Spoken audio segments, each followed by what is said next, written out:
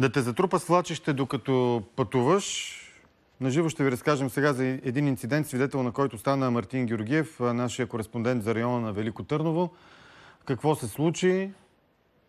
Можеше ли да стане и по-сериозно? Има ли обезопасяване на пътя? Подробностите и разказа му сега на живо. Добро утро! Добро утро, аз се намирам на този проблемен участък. Сега ще видите зад мен в далечината. Това е Слачишния район. Горе се намира крепостта Трапезица.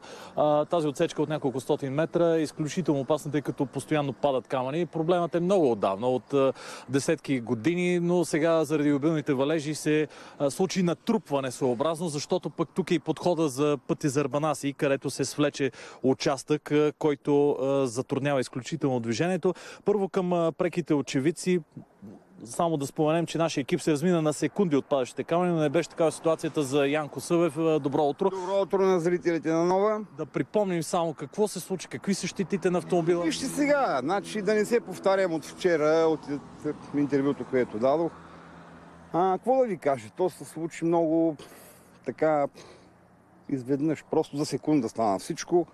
Падайки камъните, аз дори в първия момент не ги забелязах. Естествено минах през тях. Нали? И, а... Вас имаше таксиметров автомобил, който беше да, отнес. Да, но сега, лично, нали, как да ви кажа, точно това дори не съм забелязал, че и той е бил ударен. Значи виждам автомобил пред мене. Чухте ли шум, падане камъни? Не, не съм чул нищо. Просто чух трясък, следствие на който се отвориха ербаците, нали, задими се в автомобила. Нали, първи момент дори не знаех какво се е случило. И спряхте пред нас да, и ние видяхме да, ситуацията. Да, веднага дори излязах от автомобила, мислейки, че нещо се е запалило, нали, защото това... А... Направите ли оценка на щетите? Колко ще ви струва това? Ами не мога да кажа сега. Видимо автомобила не е ударен, много, видимо, но отдолу е така доста, доста потрошен. Значи... 6 хиляди лева. Ами най-вероятно сега ти, като се има предвид само двата ербака колко пари струват и смяната на таблото, нали, Говорим за не по-малко от 5-6 хиляди като ремонт. Сега, нали, това не мога да кажа. Жив и здрав сте, нямате. В крайна сметка парите нямат никакво значение. По-важно е, че се разминах само с, е, така, с, е, нали, с една повреда на автомобила и, и нищо повече. Нали? Но, тук искам да кажа нещо друго, че ако сега в момента нали, при мен така се случи и беше някакъв а, късмет или така да го кажа щастлива случайност, то не е изключено в един последващ момент, случвайки се с някой друг дори, с всеки може да стане това. Добре, да преминем към превенция. Какво правим от тук нататък? Този проблем от десетки години. Областният управител Пенчо Пенчев, а, дали във вашите прерогативи или не, не знаем. Защото така, този пътен участък е собственост на АПИ, на държавата. А, вие представлявате държавата. Тази, това свлачище е на държавата. Но всъщност пък горе крепостта Трапезица се стопанисва от общината. И става един омагиосен кръг в момента. Добър ден от мен. Сега, що се отнася до магиосен кръг, аз няма да коментирам. Важно е всички институции да бъдат организирани. В тази връзка искам да ви кажа, че миналата година бяха предприяти действия по отношение примахването на опасните камъни. Затворихме пътя, беше създадена организация. Изглежда пак трябва да го направим. Категорично.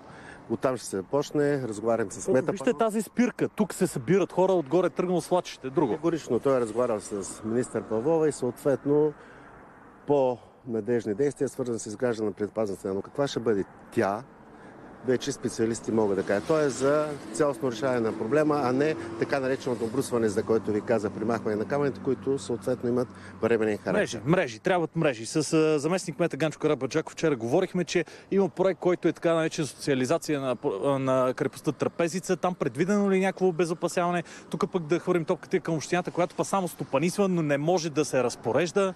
Омагиосен кръг пак става. Значи хълма Трапезица е изключителна държавна собственост и до преди няколко месеца той беше собственост на държавата, респективно на Министерството на културата. И ние не можехме да предприемем нищо. Сега обаче ще вадите горещите картофи от тези камери. След проекта на азербайджанското правителство и фундация Хайдар Алиев, която даде средства за социализация на хълма, Социализацията горе почти е завършена. Има фуникуляр, има алеи. А мрежи, мрежи ще има ли само да преминем. Има мрежи, които имат по-скоро възпиращ характер за посетителите, не толкова за обезопасяване на пътя, тъй като пътя с сервитутните му отстояние, отстояние собственост на държавата и тя трябва да се погрижда. Вие пътувате всеки ден по този път, нали? Аз пътувам не само аз, самия кмет живее също на Арбанаси. И аз и децата ни пътуваме също по този път. И всички сме изложени на тази евентуална опасност, но Както си говорихме, ама на мен няма да се случи. Дано не ми се случва на мен. всеки се надява да не се случи на него, но ето господина вече е потърпевш и знам, че днес ще дойде комисия. Дайте да кажем за финал. Какво става днес с това свлачище на Арбанаси и с горе? Както ви казва областния управител, днес ще дойде комисия от а, пътната агенция, която веднага започва ремонт. Се надяваме тук в рамките на най-кратко време да бъде всичко това укрепено.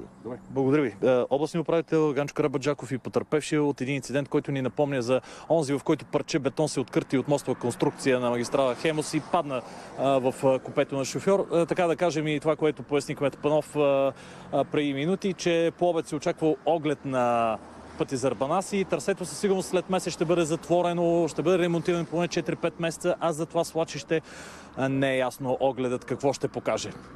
И не, благодаря ти. Надявам се да не излезе в крайна сметка, че и този шофьор е карал с несъобразена скорост и че е трябвало да кара или по-бързо, или по-бавно, за да избегне падащите камъни. Повод отново да ви